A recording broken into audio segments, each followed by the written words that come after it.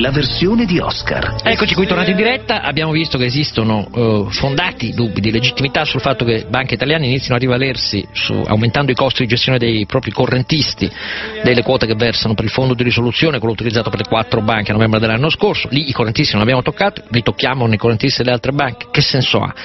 Poi, seconda questione, il Presidente dell'ABI che dice al governo no, non ce la facciamo più da soli a finanziarci i prepensionamenti e la gestione degli esuberi del personale bancario e lo Stato ci deve aiutare, quindi finisce l'auto, l'autonomia, per così dire, finanziaria con cui le banche si risolvevano il problema.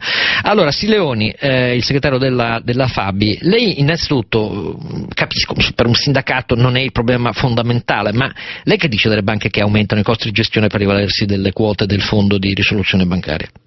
Guardi, dico, faccio due considerazioni. La prima che non sono tutte le banche, ma sono certo, certo che per esempio Intesa San Paolo, Montepaschi e BPM ancora non hanno fatto questo aumento. No?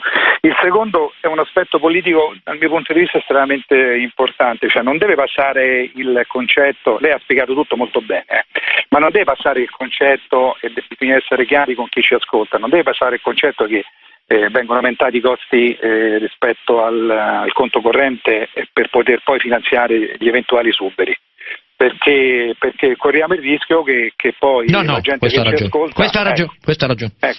Il, seconda, il, secondo aspetto, eh, Patuelli, lei non ci crederà, forse è una delle poche volte che do ragione a Patuelli, ma Patuelli ha, ha completamente ragione. Tra l'altro lo stesso Presidente dell'ABI ha fatto nostra una proposta che abbiamo fatto noi il 15 di agosto, che è stata ripresa un po' un, un po' da tutti, cioè le, le, la dico in, in maniera sim, molto semplice. Allora, da oltre vent'anni le banche versano 200 milioni di euro all'anno per finanziare l'indennità di disoccupazione di altre categorie. Certo.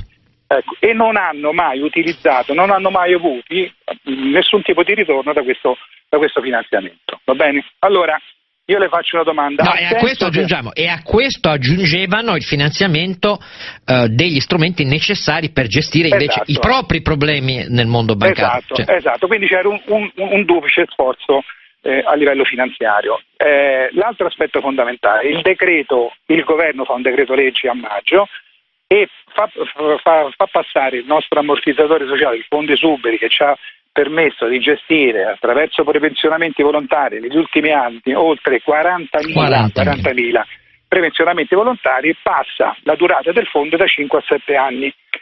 Allora il ragionamento che noi come sindacato e, il, e l'ABI facciamo eh, è il seguente, siccome per 20 anni le banche hanno finanziato l'indennità di disoccupazione di altre categorie e aggiungo io hanno fatto bene, lasciateci a noi del settore per tre anni questi 200 milioni, che sarebbero 600 milioni di euro, che vanno a confluire nel nostro ammortizzatore sociale che è il Fondo Esuberi, per poter gestirci in, ehm, dire, in, piena tranquillità tutte le prossime fusioni e tutte le, tutte le eventuali dire, aggregazioni che nasceranno da oggi in poi. Visto che tutti uh. dicono che il cambio del modello di gestione e l'abbassamento del cost income, cioè dei costi fissi, è una sfida che vale per l'economia di tutto il Paese, quindi ha un senso. Bravissimo, Ma il governo cosa ha risposto?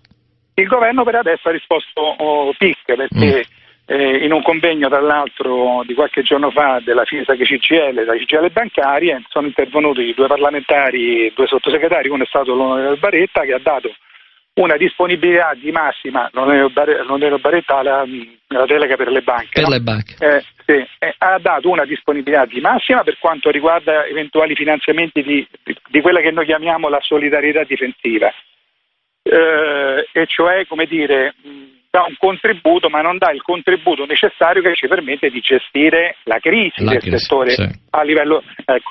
Eh, mentre altri personaggi autorevoli dello stesso governo hanno detto no, questi soldi a noi servono perché dobbiamo finanziare, continuare a finanziare la, l'indennità di disoccupazione di altre eh, categorie e quindi non possiamo per, per tre anni, ma neanche per un anno, come dire, sospendere, permettere questi 200 milioni che dal sistema vanno. Esatto, allora, esatto. io la ringrazio perché ha chiarito, innanzitutto, ma credo che i dipendenti lo sapessero, magari, però ha chiarito a tutti tutti qual è la questione. Se noi chiediamo un grande efficientamento del modello bancario, eh, tecniche di gestione, tecnologia eccetera eccetera e con le fusioni si creano esuberi, eh, bisogna che in qualche modo ci sia una soluzione per il problema. E quindi lei l'ha chiarito mm, benissimo. Vediamo un po' di nostri ascoltatori in che condizioni si trovano per le segnalazioni che ricevono dalle loro banche. Federico da Roma, Federico prego. Sì, buonasera.